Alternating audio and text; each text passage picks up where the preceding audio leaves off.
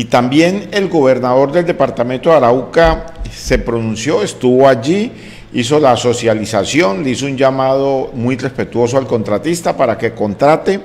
eh, el personal de esta urbanización.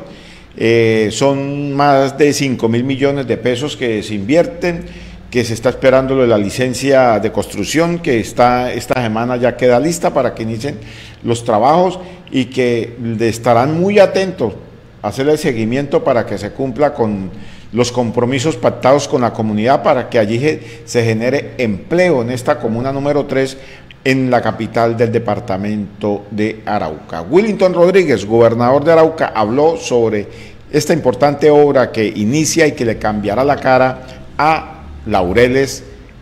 2 del municipio de Arauca proyecto de urbanismo por un poco más de 5 mil millones de pesos que va a mejorar las condiciones de vida de este complejo habitacional de más de 370 familias, 370 viviendas que hoy se encuentran en unas condiciones deplorables por el barrial en el que viven y que gracias a este proyecto eh, se van a mejorar estas condiciones, va a haber un escenario deportivo,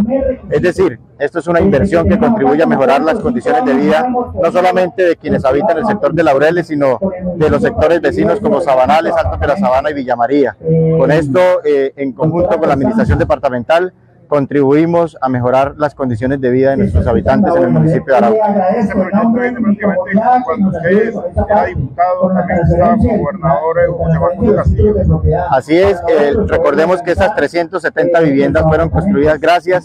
al gobernador electo de los araucanos, José Facundo Castillo Cisneros, y que este proyecto de urbanismo se venía pidiendo por la comunidad desde hace mucho rato. Cuando llegamos a la administración departamental, lo quisimos darle impulso, eh, firmar el decreto que apropiaba los recursos del bienio 2023-2024 y hoy gracias a Dios ya estamos socializando el inicio de la ejecución de esta importante obra en el municipio de Arauca, en el complejo habitacional de Laureles. Son alrededor de 2.500 personas beneficiadas, más de 1.000 solamente de Laureles y 1.500 de los sectores aledaños y esto va a contribuir a mejorar no solamente de, de los sectores aledaños, sino de todo el municipio de Arauca que la mano de obra sea del sector. ¿Cómo van a trabajar con el contratista? Siempre hemos dicho que la mejor forma de generar oportunidades es a través de proyectos de inversión que se hagan en el territorio y no podemos permitir que esas inversiones que se hagan en cada uno de los sectores pues se lleve mano de obra de otros de otros sectores. Le hemos exigido al contratista que la mano de obra calificada y no calificada que se vincule para la ejecución de esta obra, pues que sea del mismo sector y con eso contribuyamos a mejorar y dinamizar la economía de los habitantes. Willington Rodríguez, gobernador del departamento de Arauca, hablando sobre este importante proyecto de Laureles 2, el mejoramiento y